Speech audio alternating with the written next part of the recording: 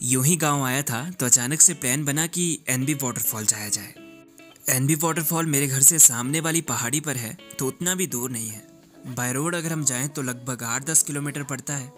तो चलिए फिर आज आपको दोबारा एनबी वाटरफॉल घुमाते हैं।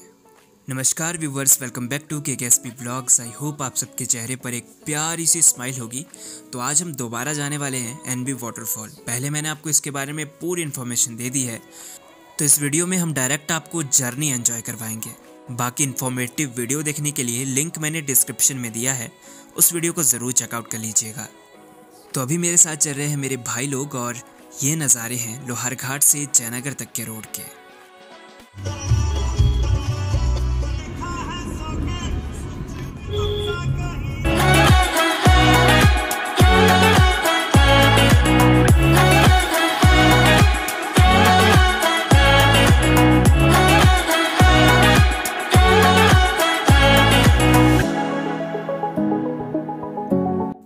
तो फ़िलहाल हम पहुँच चुके हैं जयनगर। जयनगर एक सेंटर पॉइंट है। अगर आप कुनिहार अर्की या शिमला जैसी जगहों से आते हैं तो बस यहाँ से बिलासपुर वाले रोड में आगे निकल लीजिएगा। और यहाँ से भी आपको खूबसूरत से नज़ारे देखने को मिल जाते हैं। Never make promises, cause I don't keep them.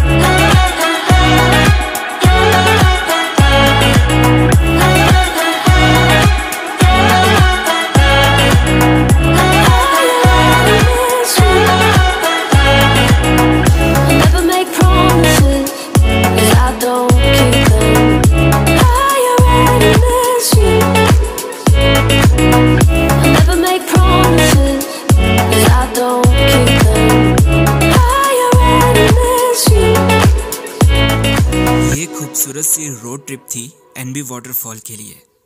फ़िलहाल हम पहुँच चुके हैं मेन गेट के पास और इसके ऊपर हम गाड़ी नहीं लेकर जाएँगे। गाड़ी लेकर जाने में रिस्क है और पैदल चलने में मज़ा। तो चलिए फिर पैदल ही चला जाए।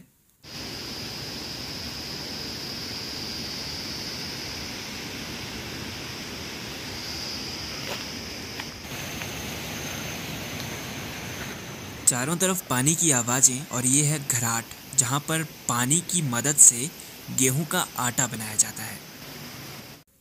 नज़ारे तो बड़े खूबसूरत दिख रहे हैं, बस चढ़ाई थोड़ी ज़्यादा है। खैर, चारों तरफ़ के पानी की आवाज़ें कानों को सुकून बहुत दे रही हैं।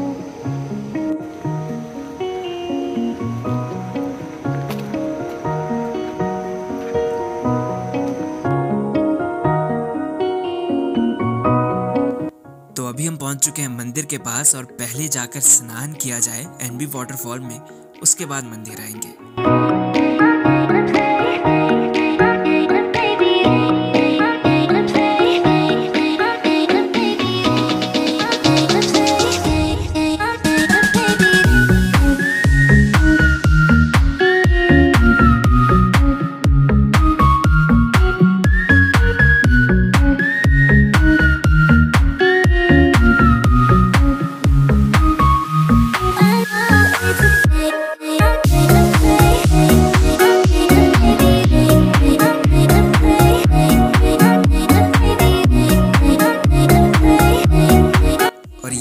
आपके सामने खूबसूरत सा एनबी वाटरफॉल अब मैं कुछ नहीं बोलूँगा, बस नज़ारे एंजॉय कीजिए।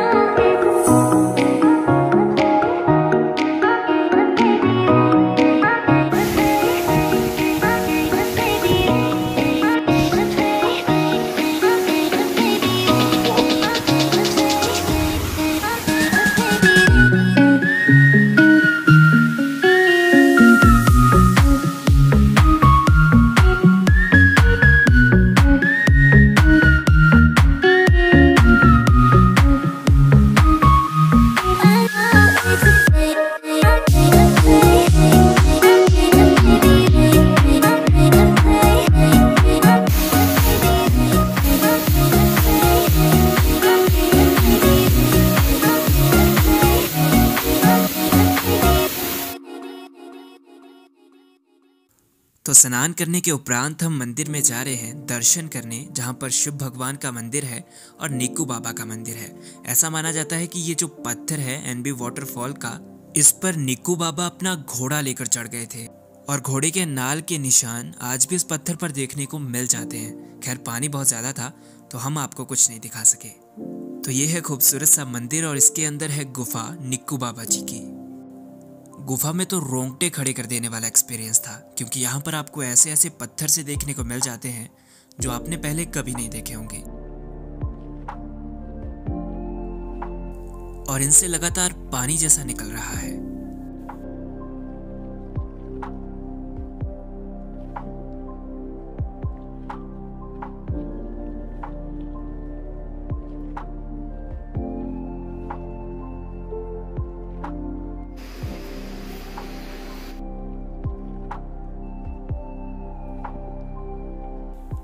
खैर, मंदिर में शिव भगवान के दर्शन करके बहुत सुकून मिला। एनबी वाटरफॉल की स्टोरी भी हम आपको ज़रूर सुनाएँगे। उसके लिए सब्सक्राइब ज़रूर कर लीजिए। मिलते हैं बहुत जल्द किसी नई वीडियो में। तब तक मुस्कुराते रहिए।